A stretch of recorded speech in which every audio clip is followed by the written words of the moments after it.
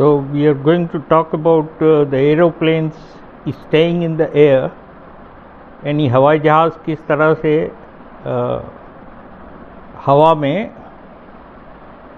होता है और क्या चीज़ होती है जिसकी वजह से उसका वो नीचे की तरफ़ गिरता नहीं है The wings of the aeroplane are specially designed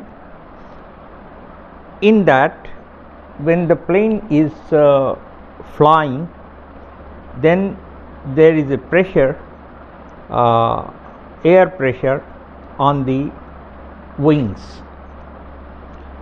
It is based on the simple principle of uh, newton's third law. To every action there is an equal and opposite reaction. The air uh, is uh, below the wings is pushed down and therefore the aeroplane is pushed up.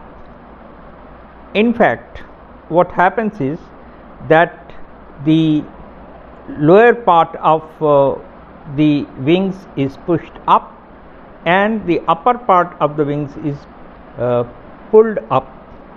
So, if the net force acting on it in the upward direction is equal to the gravitational pull mg then the aeroplane will stay at the same height.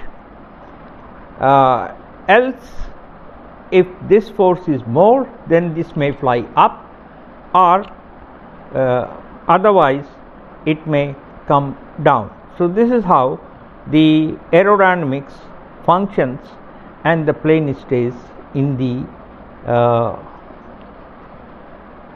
sky